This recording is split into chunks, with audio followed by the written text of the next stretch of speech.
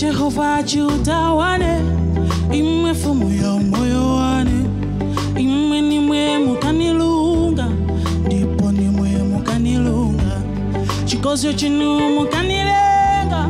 Kwa kulingana na nkhalo inu kuti nichindikenge imwe.